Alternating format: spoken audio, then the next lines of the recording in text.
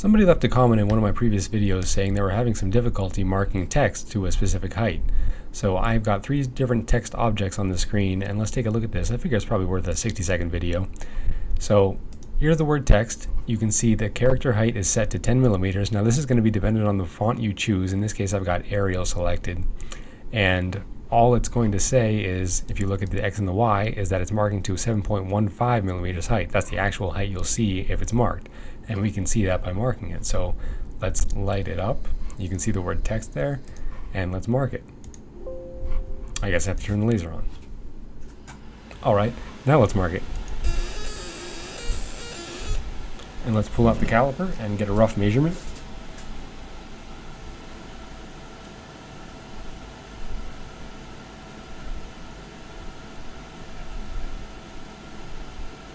So I've got 7.3.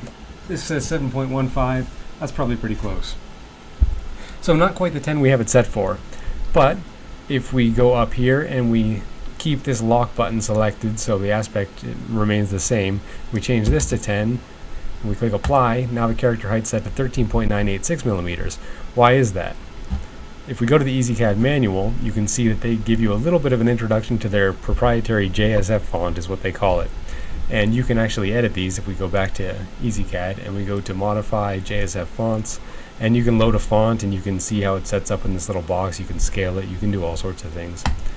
But let's go back to the manual for a second. So you can see they describe a character as having a baseline, ascent height, and a descent height. So anything below this baseline is going to be like the lowercase g, the tail of a lowercase g, the tail of a q. Anything above it will be the, the body of the letter in addition to like an I or maybe an accent depending on your font and language. But that's the idea. So I think they're saying that the character height is going to be including this entire blue box here. So the actual marked amount is only going to be a certain portion of that blue box. So I think that's the idea behind behind the, the difference in the uh, marked height and the character height. So that's easy enough to set a specific height. If you want one line that's flat, you can just set it to 10 on your Y if you're shooting for um, 10 millimeters. But now let's say your text is curved little more difficult, right? Because you can't just say, oh, I need my y to be 10, because it's going to be significantly more than that. But you can start with a flat line, single line, and say, if I have a y of 10, what happens to my character height? Okay, it becomes 13.986 millimeters. So I'll just select that and copy it, and we can apply it here. And that'll be your new height here, and now that should be a 10 millimeter letter. Let's find out if it is.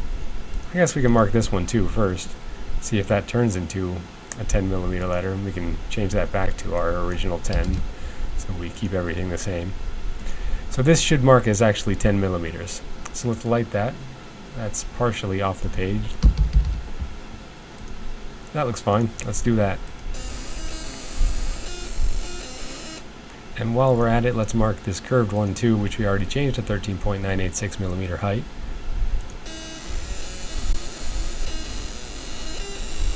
And let's measure both of those.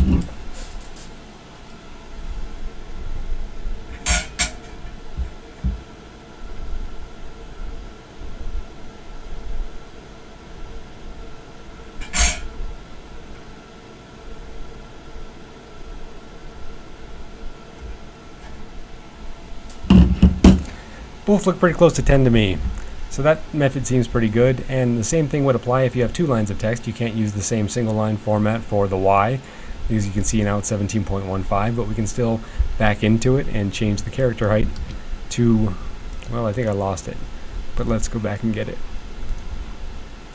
13.986, click here, 13.986, apply, and there you go. So same thing. Now it's going to depend on what font you're in. Everything's going to be a little bit different. You can see that if I change this to anything else, now we've got 7 point, well I got to apply it, 7.1 instead of 7.15, but there will be differences. So I hope that's useful to somebody, probably more useful to people who haven't yet used EZCAD, but that's all right.